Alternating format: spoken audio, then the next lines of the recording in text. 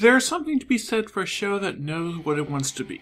It seems lately there are a lot of shows with all these interesting ideas they want to explore, but too many ideas for any of them to be done well. Not Black Lagoon, though.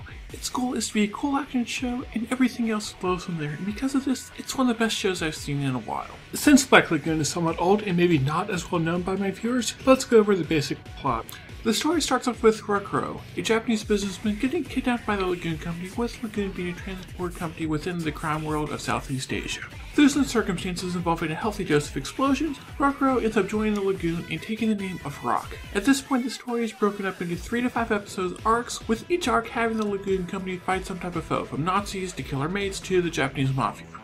Each arc is mostly self-contained with whatever plot elements that were introduced in one arc mostly resolved by the end of it. This does mean that there isn't much of an overarching story which is typically something I dislike, but pretty much all the arcs had a thrilling enough story that they worked without needing a grand story to encompass everything. But where the show really shines and what's able to make the show work so well is its characters. There are two main things I like about the characters here. First is the development that Rock and many of the side characters get. Rock is someone who at the start is a very moral person. He wants to help people not kill them, morals that go completely against the world he's a part of now. So it is interesting seeing how he copes with this, especially in contrast to Revy who doesn't give life any value and sees herself and the people in the city as already dead.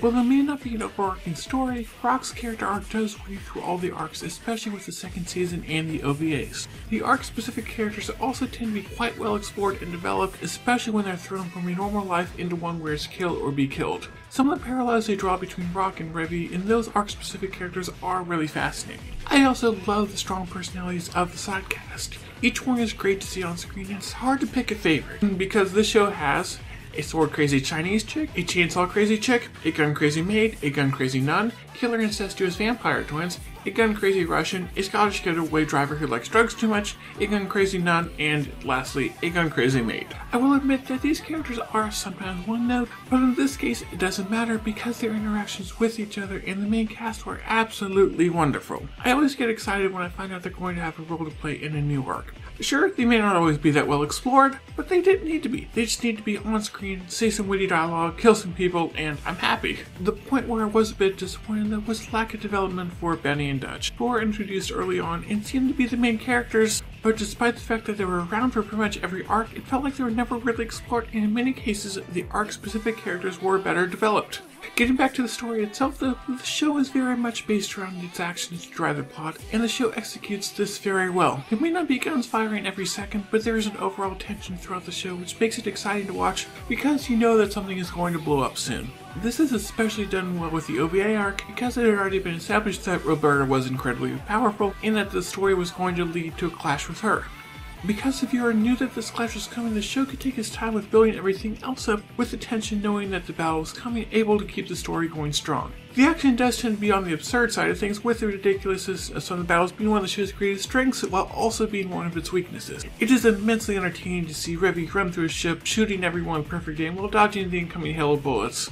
But if you stop to think, this really isn't believable, and there are times where it seems like the accuracy of people's weapons correspond more to what the plot demands than what would make the most sense. Now, I like absurdity, and I think the show benefits from the extreme action more than the unbelievability hurts the show, but there are still some times where I felt like this is taken too far. Another thing I like about the show is how there aren't really good guys. Sure, there may be some pure villains and those that try to hold some sort of morals, but oftentimes the show is more about the people trying to survive in a world where life is meaningless. Even the characters who do evil things aren't just heartless, and the show's way of exploring this gray morality is what makes it have more substance than just a flashy show filled with gunfire. Now, I did have a few problems with the show. Early on, the enemies didn't really feel like they posed much of a threat, so there wasn't much tension here. This is fixed later on with the antagonists they introduce that pose a big challenge to Lagoon, so it's exciting to see how these situations play out. There were also some parts which felt like they were wrapped up too early, though this is partly because there are a couple characters that I just wish I saw more of. It also felt like the main cast did have a lot of plot armor, since despite the danger they go through, they really are rarely hurt, and when they are, they just get better soon. I do have to warn you though, this show is dark. Possibly the darkest anime I've watched, and if not, pretty close. They really went all out in making this a dark and gritty show, and I was actually kind of surprised with how well this worked. Typically, shows that work based off fun and entertainment are limited with how dark they can go without the show just seeming edgy, which really seemed to be the case here. So this is another impressive part of the show. When it comes to the animation sound, I really don't have that much to say. Throughout the show, I was caught up in the events that were happening, not how they were presented, which means the animation did a good enough job for the events to pull me in, so that's what matters. Though I really can't think of any moments when I noticed the animation really shining.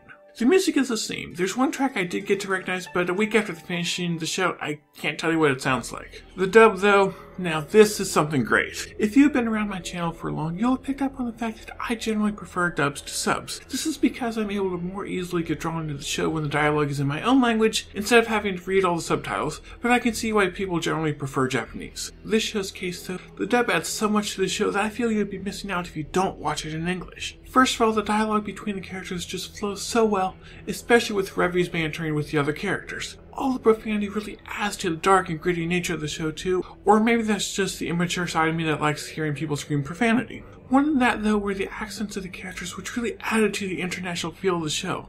Plus, the vast majority of characters aren't from Japan, and English is somewhat the standard business language, so it makes sense for the characters to be speaking English instead of Japanese. Now, I could complain that Rock should have a Japanese accent, since he's from Japan and would have one even if he is fluent in English, but that's probably nitpicking too much, so yes. This show goes right up there with Ghost Stories as a show that is far better dubbed than subbed. Overall, I really do like the show, more than I expected to actually. I came into it expecting a fun action show, and while it took a little while for me to get what I was after, once the show hooked me, it kept getting better from there. It's not just a show that is all style, no substance either, which I like because the show's action can only hold my attention for so long. There are some problems with the show, but none of them that major, especially for the type of show this is. So, I give Black Lagoon a score of an 8.25 and a rating of worth watching. Like many of the shows that I love, it may not be for everyone, but it really is one that I love. I would hesitate though to recommend this to younger viewers, but if you're a younger viewer and I say this, this is probably going to make you want to watch it even more, so whatever. Recommending similar shows is a challenge here because Black Lagoon really nails the cool action show in a way that I don't think other shows have ever surpassed. Cowboy Bebop does have a similar feel at times, but it is much more restrained and honestly not one I liked all that much. But if you're in the mood for older shows that you should probably watch at some point, go with that one.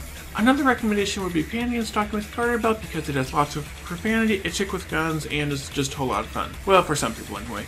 I know these really aren't the best recommendations, so if you know of any others, please leave them in the comments because I'd actually like to see them myself, so I will add them to my ever-growing plan to watch list. Anyway, that wraps up my review. Thanks for watching, I hope you enjoyed this, and I will talk to you all next time.